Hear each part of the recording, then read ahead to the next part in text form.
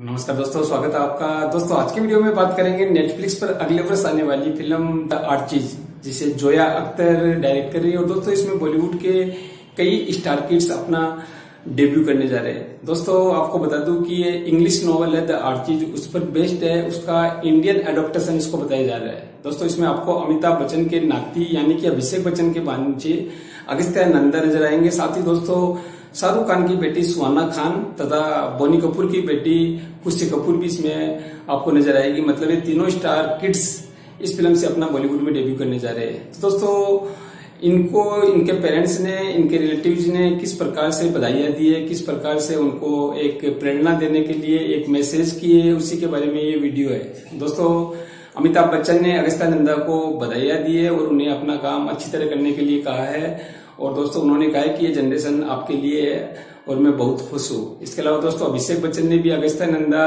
की काफ़ी तारीफ़ की है और कहा है कि मैं आपके ऊपर प्राउड फील कर रहा हूँ। आप न्यू जनरेशन के एक्टर हो। अपना काम मन लगा करके कीजिएगा। साथ ही दोस्तों, उन्होंने ये भी कहा है कि हमेशा हम्बल बने रहिएगा।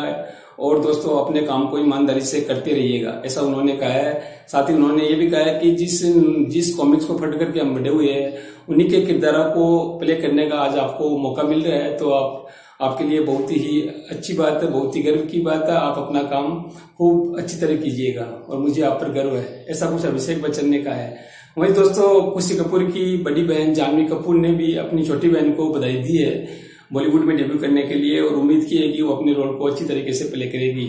साथ ही दोस्तों, बनी कपूर ने भी कहा है कि मैं उनके जो खुशी कपूर है, उनके बॉलीवुड डेब्यू से बहुत ही खुश हूँ। और अगर श्रीदेवी भी होती तो वो भी बहुत ही खुश होती उनके इस तरह से बॉलीवुड में डेब्यू करने को लेकर।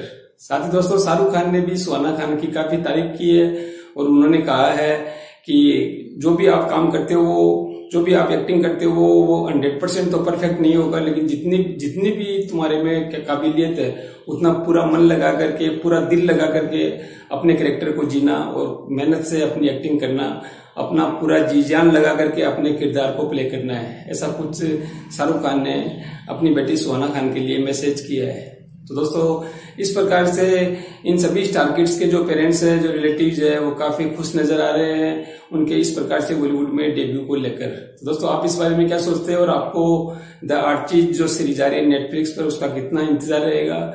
इसके बारे में आप कमेंट कर करके कमेंट बॉक्स में बता सकते हैं। और दोस्तों, अगर चैनल पर नए हैं और चैनल को सब्सक्राइब नहीं किया तो प्लीज़ ज़रूर कर लीजिएगा। धन्यवाद। Take care